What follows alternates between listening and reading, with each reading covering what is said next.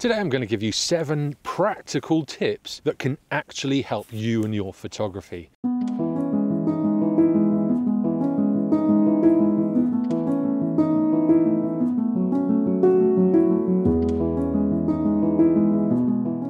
A cold front has come down over the UK and we've had this blast of cold northerly wind and it's brought with it a tiny little bit of snow. It is around about half past six. I've got 20 minutes until sunrise. There's no chance of that happening. This cloud is firmly in, but I'm hoping it might lift later in the day and give me a bit of light on this area.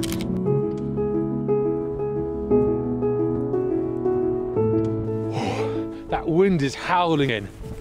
It's bitterly cold, but the sun is breaking through in parts. And I'm not sure if you can see, it's probably a bit overexposed on this camera, but the light is hitting the hills in the distance. I'll try and get a shot with this camera.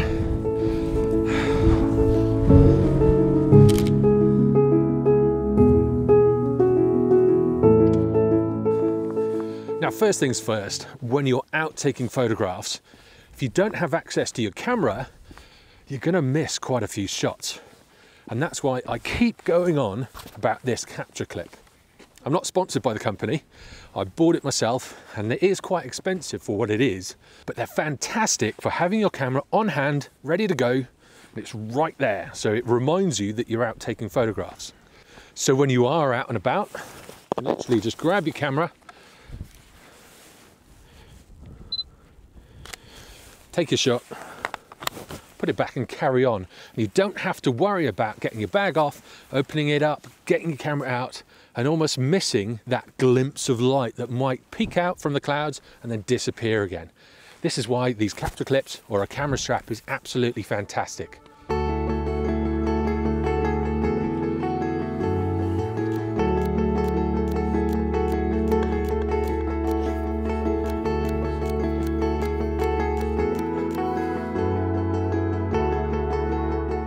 I do go on about this capture clip as if it's the best thing since sliced bread. There are a few downsides to it though. One of them being that when it does get really cold, it gets quite stiff and the camera does stick in it a little bit. Another time is when you are actually changing lenses and you have to take your bag off, you have to take the camera off first because that rucksack strap may flap to one side and if your camera's on it, the camera could hit the ground. So it's just a few things to be aware of.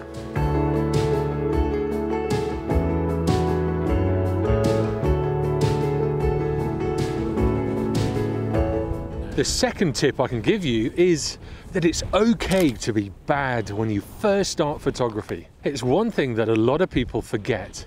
They see all these amazing photographs online, they take some pretty good photographs with a camera phone, and then they expect to be really good when you first buy a camera. And this is never really the case. You've got to learn that camera, you've got to learn how it works, you've got to learn how photography works as well. So I'm giving you permission to be bad when you first start landscape photography. If you start with this mindset in taking those bad photographs, you're actually going to learn a lot. And that's the thing, it's about learning the art of photography. And before you know it, you'll get one really good photograph. That's probably when you'll start to be hooked.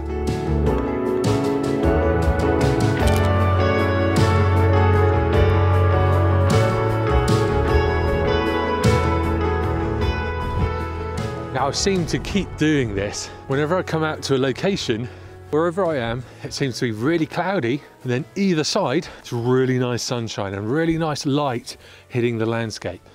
So I think I need to work on the locations that I choose. Although it's pretty fantastic today, even though my mouth is slowly stopping working because it is freezing. And again, I'm complaining about the weather. If you're not from the UK, you might not realize that complaining about the weather is a British pastime. If it's raining, we'll complain about the rain. If it's sunny, we'll complain about that. If it's hot, we'll complain about that. And if it's cold, we'll complain about that as well. We do it well and we do it all the time. But it is fantastic to get out to a location like this though, so I can't complain too much. Now the next tip I can give you is to plan your shoots. Find locations find where they're really good for photography, especially when you're limited in time, and then go out and do those shoots. When I first started getting into landscape photography, I didn't do this. We just went to different locations and I got so many average or really bad shots. Sometimes when you do plan them, a little bit like today where I planned to come out for a sunrise, it didn't quite work out. But that's the thing with landscape photography. You do have to be really persistent and you do have to just keep coming back to those locations. But if you plan your shoot, you keep an eye on the weather forecast, and when you get a day off, you go to that location, you're more than likely to get better shots than you would if you just rock up any time of the day. Now you may be thinking, well, that's okay for you, Mike. You're fit and healthy. I've got a dodgy knee or I've got a dodgy hip. But if that is the case, and I'm talking about my fitness and I'm out of breath already. But if that is the case, you can go to places that have access with cars. If you can get in a car, if you can get someone to drive you to a location, you can still shoot some fantastic landscapes. If this is the case, it's not a good enough excuse.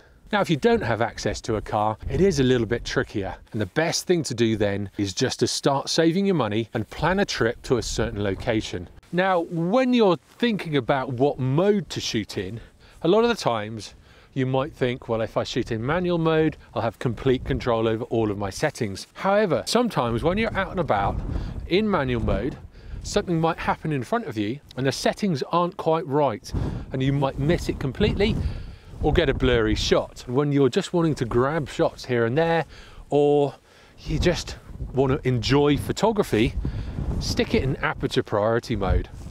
You'll be able to get the shot quickly. The camera will change the settings to suit, and then you just use exposure compensation to kind of counter it if it looks too bright or if it looks too dark. And the amount of keeper shots that you'll get will increase. So shoot in aperture priority and don't worry too much about those settings. Oh, there we go. Now, when I'm shooting in aperture priority, what I'll tend to do is just before I take the shot, if I'm using my viewfinder, I'll look down at the shutter speed. Or if I'm using the screen on the back, again, I'll just look at the shutter speed. Just to make sure that shutter speed hasn't dropped too low and I get a blurry shot. If you make a habit of this, you can really use aperture priority to your advantage. And it just makes photography fun. You get your camera out, you take a shot, and then you move on to the next location. When you first get a new lens, it's really exciting, but sometimes it can be quite daunting to kind of understand how that lens works. Now, the best way to get around this is to go out just with that one lens and nothing else. I've got the 28 to 200 from Tamron and it's been sitting in my drawer for a while. I kind of regretted buying it after getting it and it wasn't until I just went out with that one lens that I started seeing the benefit of it. If you know exactly how to use that bit of kit when you're in a high pressured situation or you're chasing that light, you'll know exactly where to focus to get the best out of that lens. Now you probably can't see it here because it's overexposed on this camera, but if I knock this down a little bit, you can see there's this big grand landscape here. Now, if you come to a landscape like this, the temptation is to put a wide angle lens on and get it all in.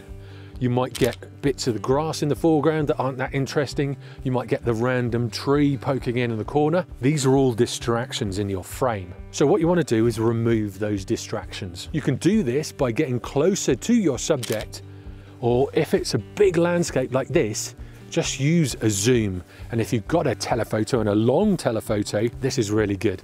Even this way, where we've got the escarpment, if I was to go super wide, does actually look pretty cool. But now if I zoom in, I've got the cloud base and then I've got the escarpment in front of it. Just makes for a more interesting shot.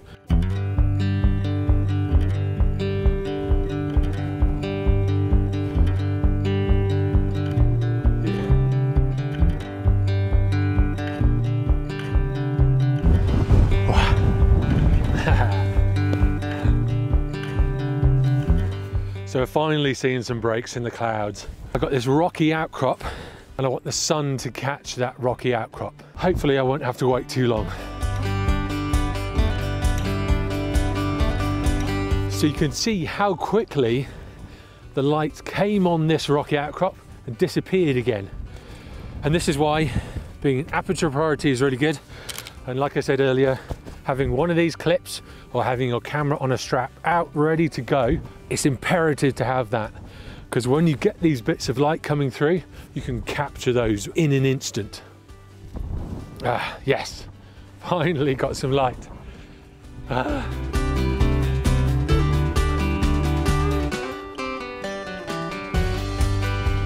Now, how cool is this?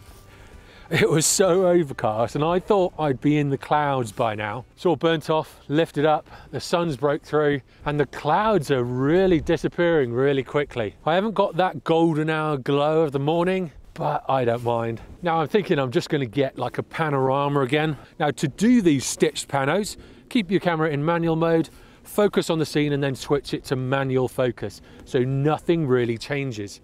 That's what I do. Then I make sure there's enough of an overlap and they pretty much stitch. You don't need a pano head, you don't need a, a nodal head, you don't need anything like that. You could do them handheld, as long as that shutter speed's high enough for you not to get any blur when moving your hands. I'll get one now and I'll show you what I mean.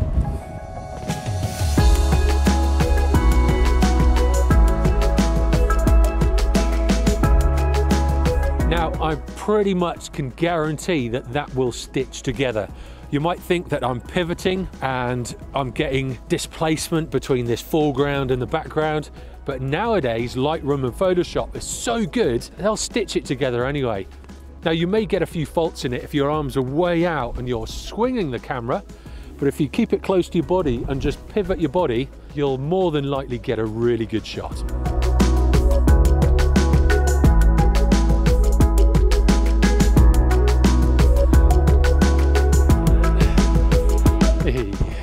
Summit.